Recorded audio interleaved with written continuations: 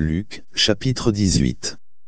Et il leur dit une parabole en conclusion, que les hommes doivent toujours prier, et ne pas défaillir, disant, Il y avait dans une ville un juge, qui ne craignait pas Dieu, qui n'avait non plus d'égard pour personne, et il y avait dans cette ville une veuve, et elle vint vers lui, disant, Venge-moi de mon adversaire et il ne le voulut pas pendant un certain temps, mais plus tard il dit en lui-même, bien que je ne craigne pas Dieu, et n'ai d'égard pour personne, cependant, parce que cette veuve me dérange, je la vengerai, de peur que par ses visites continuelles elle ne me lasse. Et le Seigneur dit, Entendez ce que le juge injuste dit. Et Dieu ne vengera-t-il pas ses propres élus qui crient vers lui jour et nuit, bien qu'il les supporte longuement? Je vous dis qu'il les vengera rapidement. Néanmoins lorsque le Fils de l'homme viendra, trouvera-t-il la foi sur la terre? Et il dit cette parabole à certains qui se confiaient en eux-mêmes qu'ils étaient droits, et qui méprisaient les autres, deux hommes montèrent au temple pour prier, l'un pharisien et l'autre publicain. Le pharisien se tenait debout et priait ainsi en lui-même, Dieu, je te remercie, de ce que je ne suis pas comme d'autres hommes sont, extorqueurs, injustes, adultères, ou même comme ce publicain je jeûne deux fois par semaine, je donne la dîme de tout ce que je possède. Et le publicain, se tenant éloigné, ne voulait pas même lever ses yeux vers le ciel, mais frappait sa poitrine, disant, Dieu, sois miséricordieux envers moi un pécheur. Je vous dis, cet homme descendit dans sa maison justifié plutôt que l'autre, car quiconque s'élève sera abaissé, et quiconque s'humilie sera élevé et ils lui amenèrent aussi des nourrissons, afin qu'il les touchât, mais lorsque ses disciples le virent, ils les reprirent. Mais Jésus les appela à lui, et dit, Laissez les petits enfants venir vers moi, et ne les empêchez pas, car à de tel est le royaume de Dieu.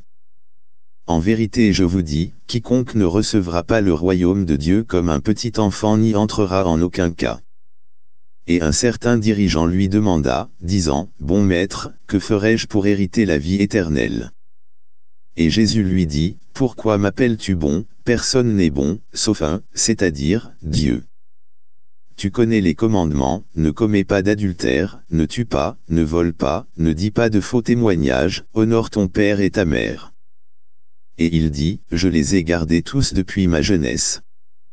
Or quand Jésus entendit ces choses, il lui dit, Cependant il te manque une chose, vends tout ce que tu as, et distribue-le aux pauvres, et tu auras un trésor dans le ciel, et viens, suis-moi.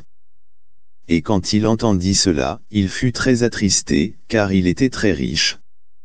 Et quand Jésus vit qu'il était très attristé, il dit, Combien difficilement ceux qui ont de la richesse entreront-ils dans le royaume de Dieu, car il est plus facile à un chameau de passer au travers du trou d'une aiguille, que pour un homme riche d'entrer dans le royaume de Dieu. Et ceux qui l'entendaient dire, qui donc peut être sauvé? Et il dit, les choses qui sont impossibles aux hommes sont possibles à Dieu. Alors Pierre dit, Voici, nous avons tout quitté, et t'avons suivi. Et il leur dit, En vérité je vous dis, il n'y a aucun homme qui ait laissé maison, ou parents, ou frères, ou femmes, ou enfants, à cause du royaume de Dieu, qui ne recevra multiples fois plus en ce moment présent, et dans le monde à venir, la vie immortelle. Puis il prit auprès de lui les douze, et leur dit, Voici, nous montons à Jérusalem, et toutes les choses qui sont écrites par les prophètes concernant le Fils de l'homme, arriveront car il sera livré aux gentils, et sera moqué, et traité malignement, et l'on crachera sur lui, et ils le fouetteront, et le mettront à mort, et le troisième jour il ressuscitera. Et ils ne comprirent aucune de ces choses, et ce propos leur était caché, ils ne connaissaient pas non plus les choses qui étaient dites.